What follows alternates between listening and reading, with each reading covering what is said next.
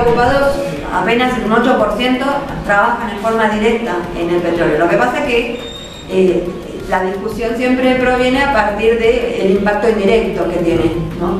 que verdaderamente tiene un impacto indirecto, pero el principal impacto indirecto es el empleo público en Neuquén.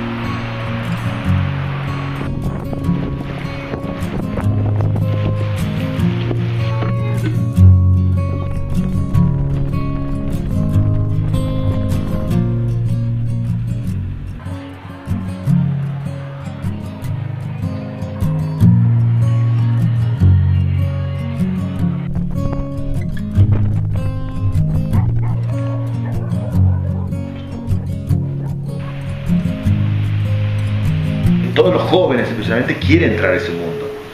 Eh, y en ese mundo se, crean ciertos problemas. El mundo laboral, que es el, especialmente el juego, compras suntuarias, la droga y la, prostitución, que son eh, problemas que surgen inmediatamente en, torno a un sector que tiene altos ingresos, que en ese mundo del trabajo. La razón por la que ganan mucho dinero es, o tanto o más dinero que otros es porque participan de un negocio que es millonario. El petróleo genera muchísima riqueza, muchísima ganancia. O sea, el tema es, la comparación con el resto y que, y que el desequilibrio que se genera con otros habitantes del mismo territorio que está generando esa riqueza.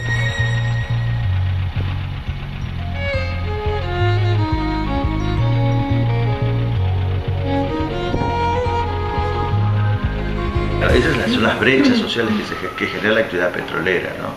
Es como una, maldición que se genera. En el medio del desierto aparece esta, de la ilusión de que se puede eh, vivir al estilo de, Las Vegas, digamos, y las luces, y al mismo tiempo, en, exacto, eh, a unos kilómetros, a 20 minutos de la ciudad, del centro de la ciudad tenés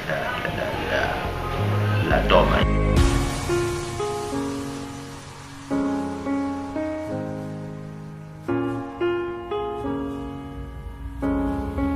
La teoría del derrame no se cumple eh, en, el, sistema capitalista. la teoría del derrame es la copa se va llenando y en algún momento va a derramar y nos va a tocar algo. Eso no se cumple, está claro que no.